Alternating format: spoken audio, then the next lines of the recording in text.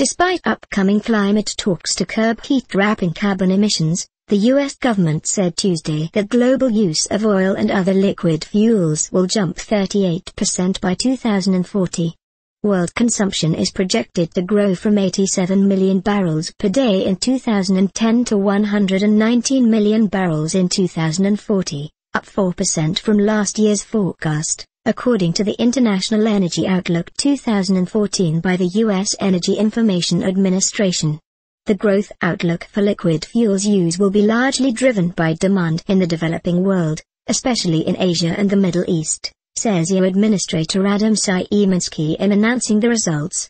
Most, 72%, of this increase will come from developing Asian countries, including China and India.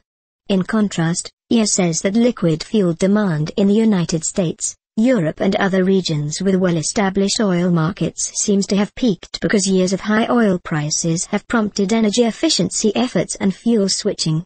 The US forecast is hardly good news for leaders of the 100-plus nations who will meet September 23 in New York City for the United Nations Climate Summit. The summit aims to spur countries to pledge cuts in their carbon dioxide emissions, which are largely due to the burning of fossil fuels.